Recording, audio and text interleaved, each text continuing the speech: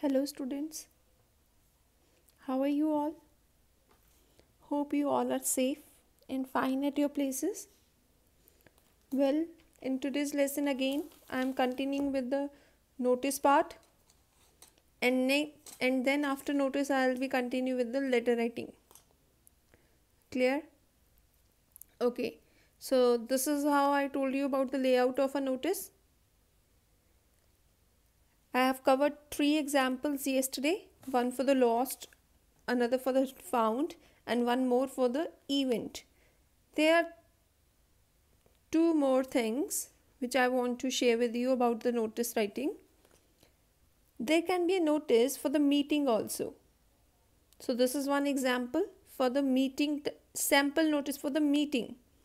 So, here we have some value points. You could read it out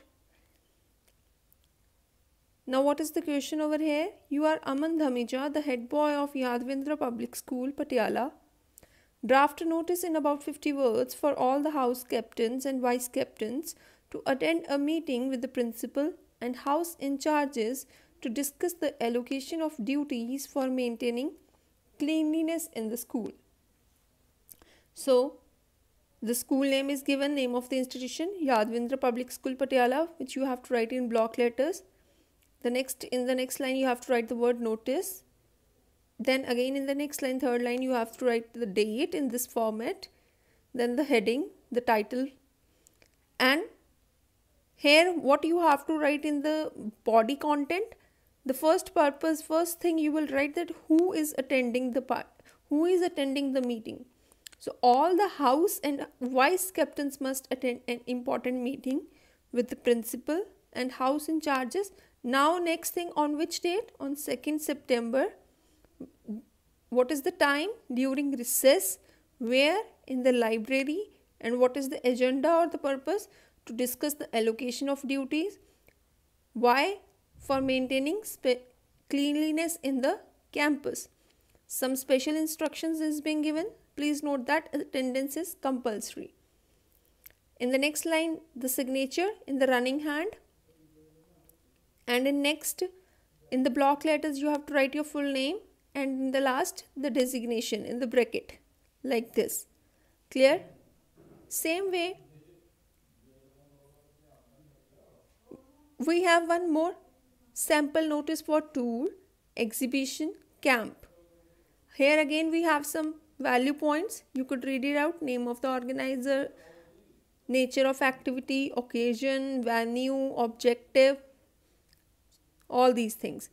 So here what is that there is one uh, in apex adventures and innerline treks company is there which is organizing a five day trekking expedition for the students of class 8th of your school. Your name is being given Revati, secretary of the adventure club of your school. Draft a notice in about 50 words for the school notice board in which you have to announce the expedition and invite the students you can also include details like charges, parents' consent letter, last date, like this. Okay, here again, the first thing we have to mention the name of the institution, and here the institution's name is being given is being uh, selected by the student himself. Because in the question we have not there is no mention of any name of the institution so we can choose it by ourselves. In the next line notice then date then the heading and then who is organizing? Apex Adventures in, and Innerline Treks and Travels are organizing. And what they are organizing? Five day trekking expedition. Where?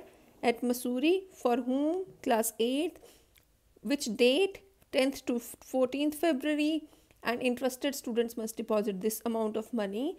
How? With the parents' consent letter with their respective class teachers by this date. And last, we have running hand signature then in block letters your name the resignation. So in this way we are completed we are over with the notice writing part. So I, I, hope you understand it very well how you have to write how you have to attempt for the notice writing. So these are the some skills which you have to use while writing a notice which i have told you yesterday. So moving forward now we have another task in the writing part which is a informal letter. Actually there are two types of letters informal and formal. in this in today's lesson we will discuss only about the informal letter okay and i'll tell you about the formal letter some other time whenever there will be uh, in when it, when will it be in your syllabus but for now only informal letter is in your syllabus so i'll discuss it with you that part the first thing informal letters are also called the personal letters and these are those letters that we write to our family members, close relatives, and friends, cousins, grandparents. So that means which we usually write to our family, to our friends, to our cousins, to our brother, sister, to our mother, father, like that. Such letters are written in a simple, easy to understand, and natural style, just as one talks to a friend or a relative. That means in this case, we don't need any official language or the style or tone which suits the official authority, but actually we need here simple, easy language which is natural as we usually talk to with our family. In that tone only, in that style only, we have to write. So this is all about the informal letters. Now here, why we write informal letters? What is the purpose of writing informal letters? The first is to express our feelings, to share our joys and sorrows and those of our loved ones, mark important occasions like to announce a birth, an engagement. Then we have to acknowledge and appreciate people in our life, to advise them, to greet them, to thank them. When we want to make some complaints, but in a polite way when we want to make proposals, suggestions, etc. When we used to send some personal invitations, replies to invitations, or reminders. So, these are the main things which we uh, why we write informal letters.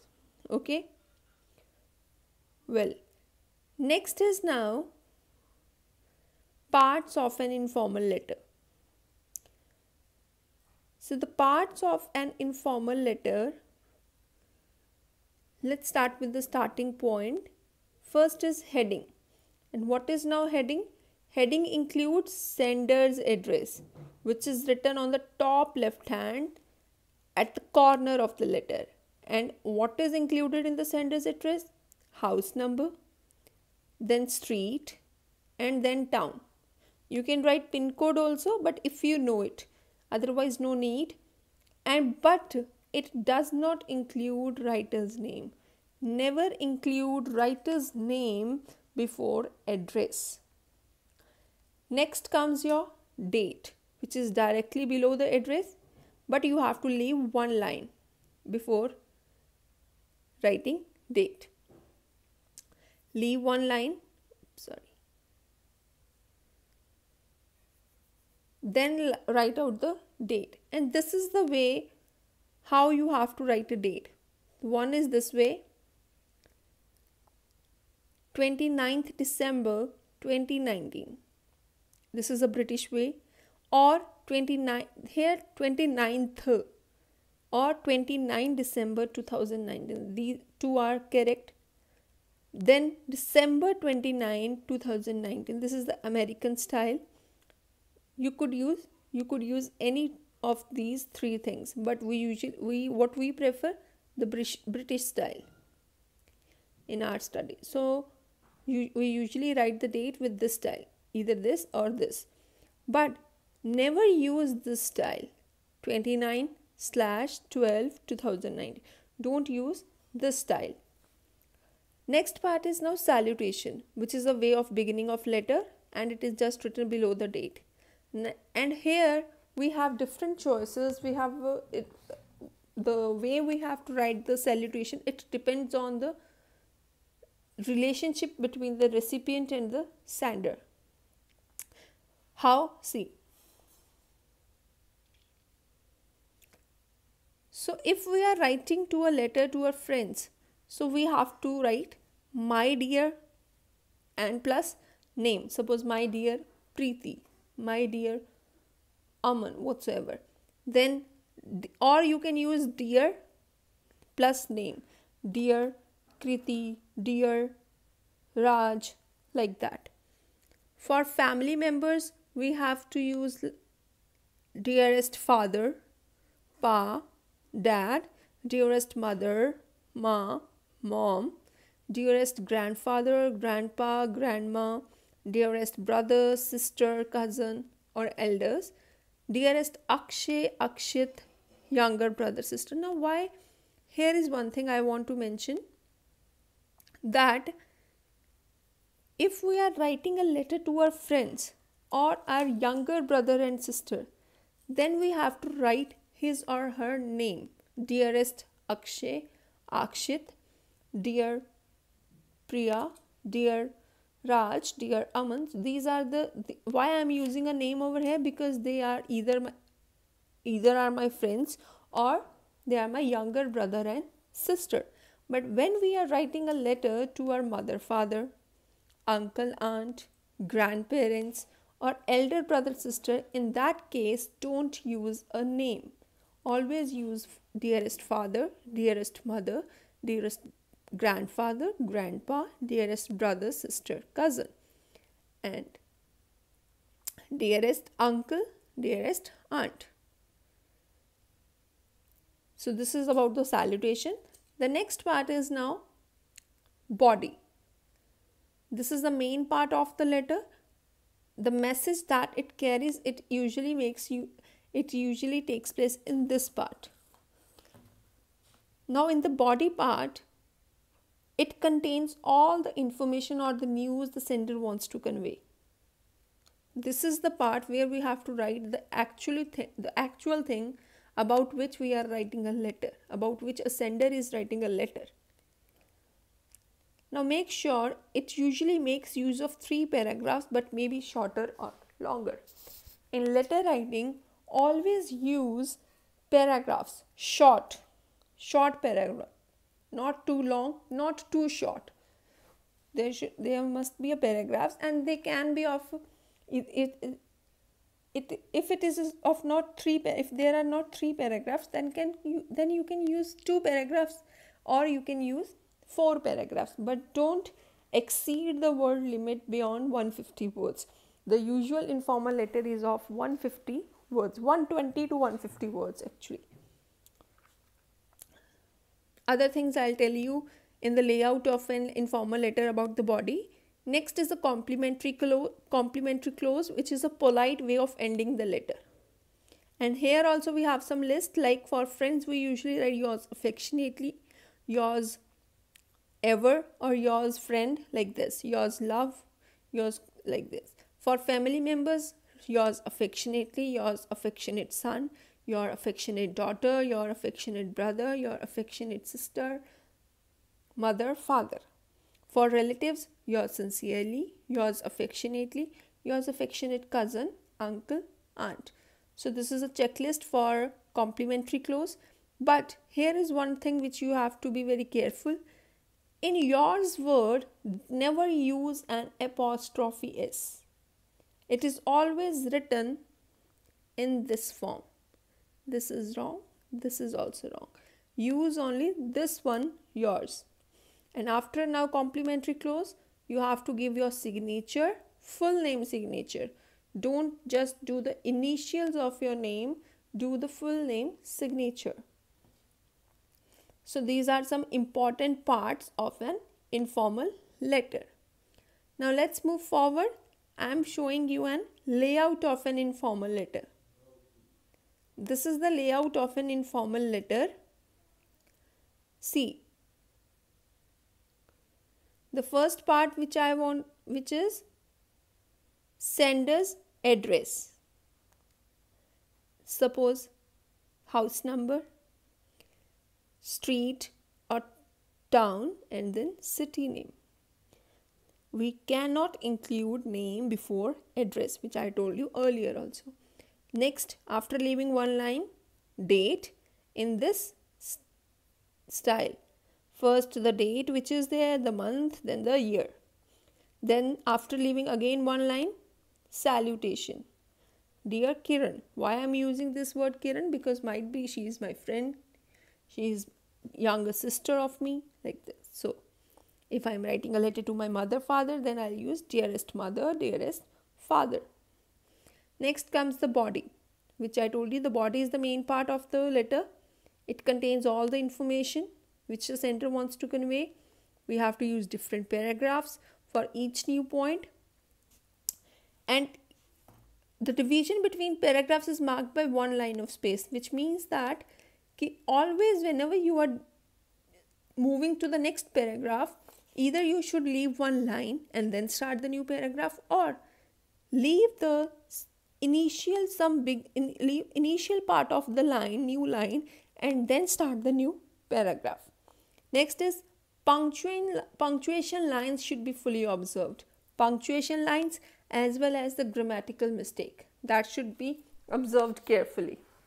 Even though i am saying you that you should uh, let that uh, informal letter is a very in a, written in very natural and simple language but still we have to be very careful with our grammar skills with our grammatical things okay? So this is all about the body part. And one thing more whenever you are whenever we are writing an informal letter at the end we should use some good leave taking expressions like okay bye i'll come to see you soon until then take care that you should end the letter with a positive note with a good positive note okay at last complimentary close yours here it could come anything yours affectionately yours sincerely yours loving daughter, yours affectionate daughter, anything. That's why I have left the space over here. Next is your name, the full name. Okay, Sarah. I have written Sarah because I am not using my name, but this is a full name. You have to use your full name signature. So this is all about the letter part. This is the layout of a letter. Now I am showing you one example for this. Then we will be over. Yes. So, what's the question? You are on a holiday visiting your cousin in Delhi. Write a letter to your father or mother describing your experience of a day's outing. In your letter, you should say what you went see- sightseeing with, who you went, sorry, who you went sightseeing with, what places you visited, what different activities you enjoyed doing there, how you felt about the whole experience. So, let's see the first address is here which is house number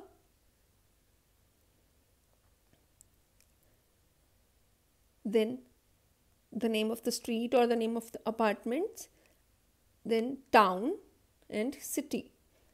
Date is there salutation is there starting of the letter hi hi you can mention if you will not mention that is also okay. So, in the first two lines, he was discussing, he was uh, telling that where he went and with whom he went to the sight sightseeing. So, I have just returned from the picnic we kids had at India, India Gate. Uncle Sham packed us all in his Innova and took us out for a day long fun and frolic. It was great fun. So, in this, in these two lines, we got to know that that the kids have got to picnic at India Gate and with whom? Uncle Sham. In the next paragraph, this paragraph, he was describing about the places where he visited. So he was telling we reached there at nine, around 9 o'clock where there means India Gate. While Sanju straight away went about flying kites, I paid my tributes to the martyrs. Martyrs means the people who sacrificed their lives for the country, Shaheed. At the Amar Jawan Jyoti, our martyrs deserve our respect and gratitude for their sacrifices, don't they? Next, I and Kirti went for boating at the boat club. The second place where they went, boating for boat club. And there they took two rides for of a motorboat, what speed it had. So in the second paragraph, he has mentioned about the two places where he had visited and what he did over there, he also described that. In the next two lines, again, he described about what different activities they have enjoyed doing there. Antakshari, in that Nipun won it. then uh, when it came to a game of badminton your son beat them all your son beat them all the one who is writing the letter sender he's saying that he won the game of badminton so the two activities two activities they have enjoyed over there antakshari and badminton in the last paragraph he expre- he expressed about his experience how he felt so he said there haven't been any fights. That's good. Well, Uncle Sham kept taking photographs. Well, he was not doing that. He was eating fruit salad, peanuts, or popcorns. So they have really uh, delicious things to eat over there. Some delicious pasta. Watching us kids eat. Tomorrow we are going, and he is also telling that where they are going to to uh, enjoy tomorrow at the Delhi Haat. And at last he is saying that holidays are a real fun here. Thanks for sending me here. So here of course he was ending the letter with a positive note with a love note. Thanks for sending me here. Love you and miss you naman. So now see because he is uh, using a natural language the way he talks to his parents naturally he he is using that language. So uh, instead of writing yours affectionate daughter or yours affectionate son he is using love you and miss you. That's fine. You could also use that's not a, a big issue. So don't uh, write the letter part or any writing skill thinking that that i have to score good marks. Yes that you have to score good marks but write it from what do you really feel for that thing. What do you really think about that thing. Think whatever the writing task is being given to you before started start writing think about that for 2 minutes for 4 minutes for at least 2 to 4 minutes you should think about that how you are going to present yourself in this writing task whatever the writing task is being given. Either it is a letter either it is a notice or it is an article writing diary entry. This is the way you can present yourself. I told you about how you have to write what you have to write what are the parts of an informal letter? Why we write informal letters? I told you everything. So keep in mind all these things. I hope you understand very well. So this is all for today's lesson. We are over with the writing task. From next week we will be heading towards some other topic. Till then good day. Bye